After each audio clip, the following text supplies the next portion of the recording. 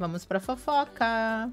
Vamos falar agora de Shei, né? Shei, nosso querido Cerejinha. Amado da Cris. Da Cris, não. Da Cris também, mas da Lu, desculpa, eu queria falar Lu. O ator Shane teria sido processado por sua antiga agência. Temos uma matéria aqui da Overseas Idols, de 3 de abril de 2024.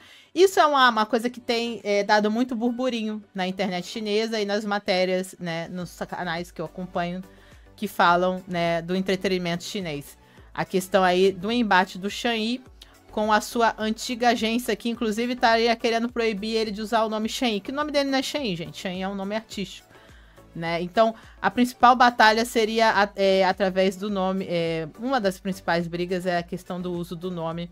E a antiga agência acusa a nova agência também de ter roubado o ator deles, vamos dizer assim. Então, vou overseaidos.com. Vamos lá.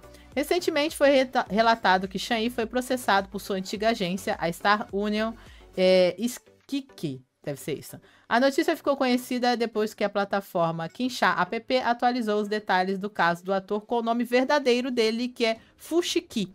Então, nosso Shai, na verdade, se chama Fushiki. tá? É, a causa desse caso é uma disputa contratual e o caso será julgado no Tribunal Popular Intermediário da cidade de Guangzhou, Guangdong, em 2 de julho de 2024, ok? Então, só lá em julho que vai ser o julgamento aí é, desse caso né, que a antiga agência está processando ele. Informações públicas indicam que a Star Union Skiki é a agência, a antiga agência de Xanyi. As duas partes assinaram uma vez um contrato artístico exclusivo que inclui desenvolvimento de carreira e suporte de recursos. Em resposta a isso, em 1 de abril, no dia da mentira, a atual empresa do Xanyi, que é a, RH, a HR Century, emitiu um comunicado em resposta.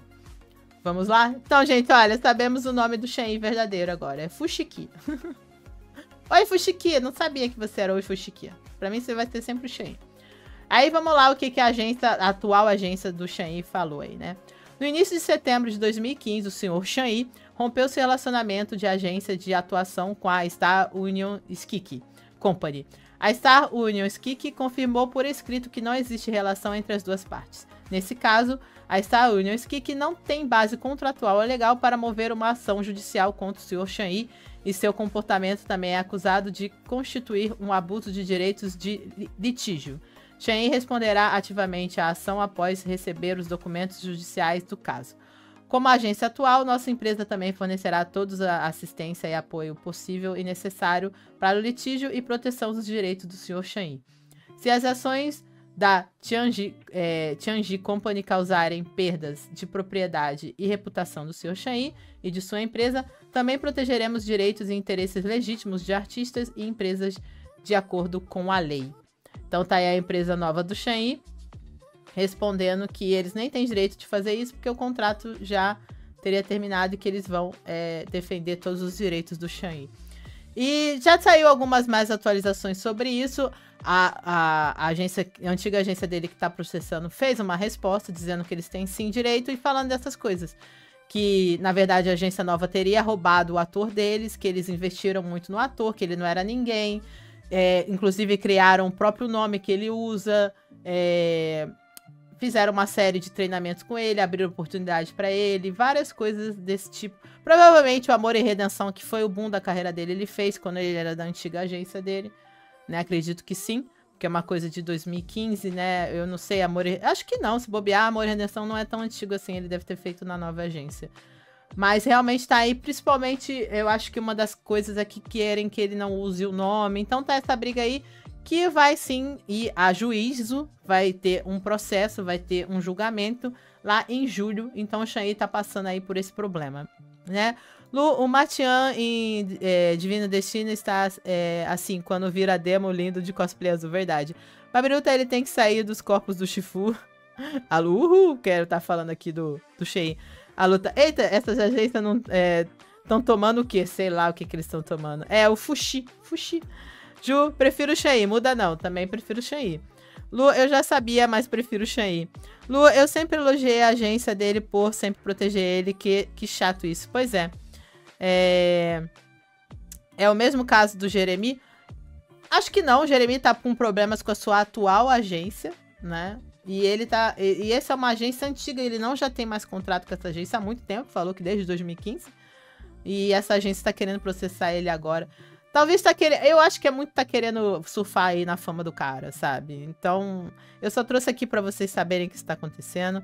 Ju acabou o contrato e não pagou bem e tchau, é benção. Também acho, acabou o contrato, ele trocou. Isso é desde 2015, gente, já tem muito tempo, né?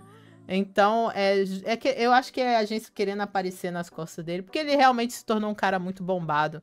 Imagina, você tinha um artista que se torna muito bombado e ele vai para outra agência, você deve dar uma dorzinha de cotovelo, né? Então, estão com ciúme do crescimento do Shen tá na hora de voar para os outros patamares. Também acho. Também acho que é isso. O cara bombou muito, o cara era deles, eles perderam. Então, eu acho que, que é, essa é a questão, né? Então, eu acho que, que acaba sendo esse é o problema. Então eu queria trazer aqui mais para vocês terem conhecimento disso e também para ver a opinião de vocês. E eu também, na minha opinião, eu acho que é isso mesmo, sabe? O cara cresceu, o cara bombou, aí as pessoas ficam achando que, ai meu Deus, sabe? Eu quero surfar aí na onda do cara. A gente sabe que isso acontece. E é uma pena. Espero que não dê nada de mal, nem que ele precise trocar de nome, né, gente? Que isso é ridículo.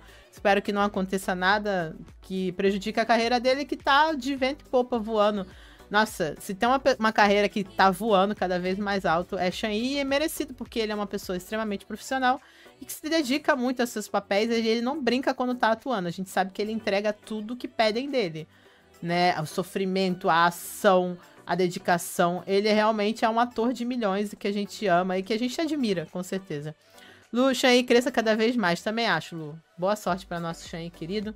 E que ele brilhe, brilhe cada vez mais e que saia daí. Sai invejoso né?